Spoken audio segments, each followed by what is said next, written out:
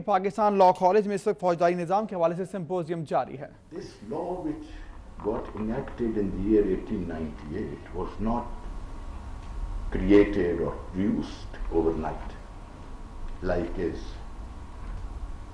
in vogue in our country, unfortunately, where even the constitution is amended overnight, without any debate, without any discussion, without any experimentation.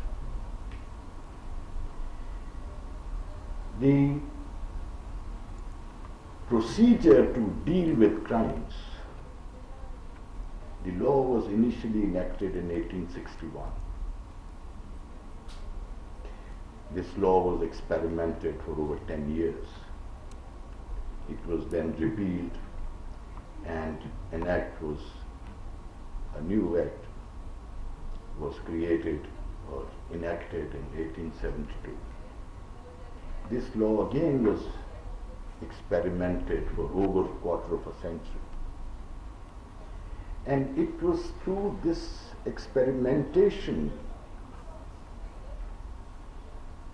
of almost 40 years that the framers of law, the lawmakers finally came up with this law which today we call the Code of Criminal Procedure of 1898.